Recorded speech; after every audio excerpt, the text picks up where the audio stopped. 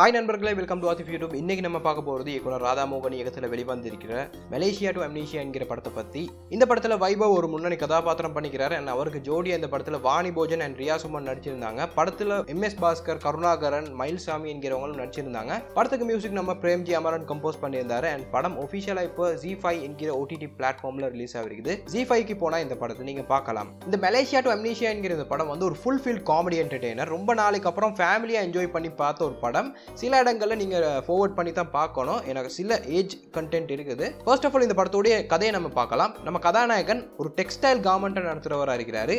அவருக்கு ரொம்ப அழகான ஒரு ஃபேமிலி இருக்குது. அண்ட் நம்ம கதாநாயகன் இன்னொரு பொண்ணையும் காதலிக்கிறாரு. ஒரு கள்ளக்காதல் கதை தான் ஸோ இந்த கள்ளக்காதலியை மீட் பண்ணுறதுக்கு பெங்களூர் போகிறாரு பெங்களூர் போகிறதுக்கு போது அவருடைய வீட்டில் வந்து அவர் மலேசியா போகிறேன்னு ஒரு பொய் சொல்லிட்டு போகிறாரு ஸோ அவர் போன அதே நாளில் வந்து மலேசியா ஃப்ளைட்டும் காணாமல் போகுது.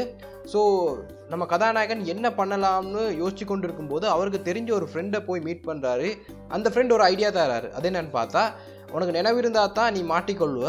உனக்கு அம்னீஷியா மாதிரி நீ நடின்னு ஒரு விஷயத்த சொல்கிறாரு அண்ட் நம்ம கதாநாயகனும் அம்னீஷியா பேஷண்ட் மாதிரியே நடிக்கிறாரு.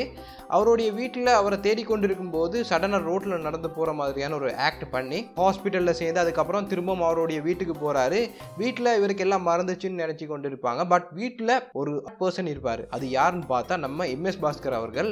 அவர் வந்து நம்ம கதாநாயகியோடைய மாமாவாக இருக்கிறாரு.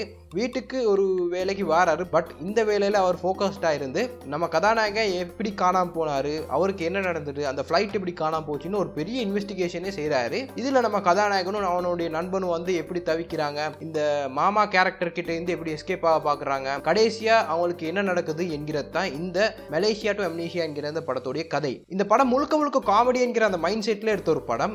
அண்ட் எம்எஸ் பாஸ்கர் அவர்கள் இந்த படத்தில் வேற லெவலில் அவருடைய கதாபாத்திரத்தை பண்ணியிருந்தார். ரொம்ப ஃபன்னாக இருந்துச்சு அவருடைய கதாபாத்திரம்.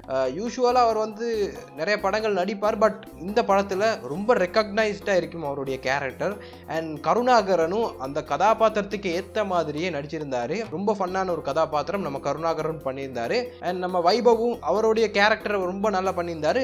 டிஃப்ரெண்ட்டாக இருந்துச்சு. யூஸ்வல் அவருடைய படங்கள் பார்க்கும்போது இந்த கேரக்டர் அவருக்கு ரொம்ப டிஃப்ரெண்ட்டாக இருந்துச்சு. படத்துடைய கதாநாயகியாக நடித்த நம்ம வாணிபோஜன் அவங்களுடைய கதாபாத்திரத்தை ரொம்ப நல்லா பண்ணியிருந்தாங்க. இந்த படத்தில் மொத்தமாகவே ஒரு பத்து பத்து பேர் தான் நடிச்சிருப்பாங்க. அவங்களுடைய மேக்ஸிமம் அவுட்புட் எடுத்துக்கிறாரு நம்ம ராதாமோகன் அவர்கள்.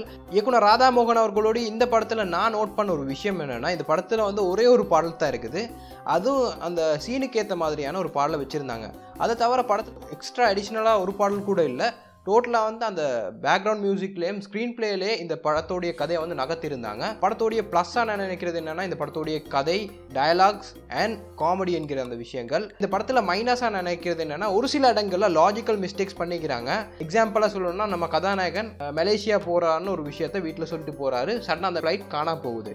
ஸோ யூஸ்வலாக இந்த மாதிரியான ஒரு விஷயம் நடந்தால் வீட்டில் இருக்கிறவங்க போய் போலீஸில் ஒரு கம்ப்ளைண்ட் பண்ணணும். பட் அதை பண்ணாமல் நம்ம கதாநாயகன் வரக்காட்டி அழுது கொண்டு இருந்தால் என்ன நடக்கும்? சில சில விஷயங்கள் இந்த படத்தில் மைனஸாக இருக்குது. இந்த படத்தை நீங்கள் பார்த்ததுக்கு அப்புறம் உங்களுடைய கருத்துக்களை நீங்கள் கமெண்ட்டில் பதிவு பண்ணுங்கள் இந்த விமர்சனம் உங்களுக்கு பிடிச்சிருந்தால் இந்த வீடியோ லைக் பண்ணுங்கள் ஷேர் பண்ணுங்கள் அண்ட் சப்ஸ்கிரைப் பண்ணுங்கள் ஆத்திப் யூடியூப் சேனலுக்கு. சப்ஸ்கிரைப் பண்ணதுக்கு அப்புறம் அந்த பெல் ஐக்கனை கிளிக் பண்ணுங்கள் அண்ட் அதுவரை உங்களிடம் இந்த விடைபெறுவது உங்கள் நான் ஆத்திஃப் நன்றி. C you next time